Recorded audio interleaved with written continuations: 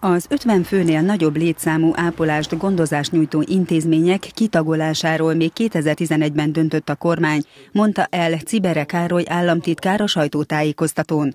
Hozzátette, a kislétszámú otthonokban nagyobb eséllyel valósítható meg a fogyatékkal élők integrációja. Az eddigi visszajelzések is azt igazolják, hogy szükség van a hagyományos intézmények kiváltására, mert a támogatott lakhatás elősegíti az érintettek önálló életvitelét, esetleg esetlegesen a munkaerőpiaci aktivitásukat is segíti nyitottabbá válik, átjárhatóbbá válik egy támogatott lakhatással működő intézmény, mert egészen más struktúra szerint működik, mint egy nagy létszámú bentlakásos intézmény, ahogy ez korábban működött, így könnyebben elérhető a fogyatékossággal élő, munkaerőpiacra kihelyezhető fogyatékossággal élő ember. Jelenleg 12 megyéből 29 intézmény nyert támogatást a kislétszámú otthonok kialakítására. Két intézményt a kiváltás, a Főpösdalolcot és Tarpát,